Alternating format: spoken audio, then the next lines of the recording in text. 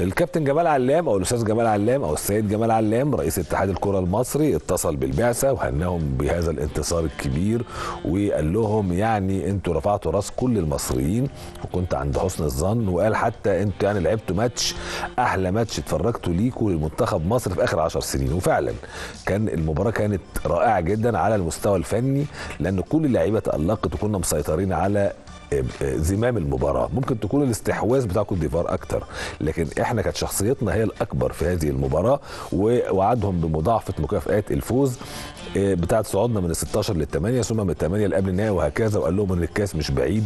لو لعبنا بنفس الروح بتاعه النهارده الكاس بتاعنا مش هيبقى بعيد ابدا.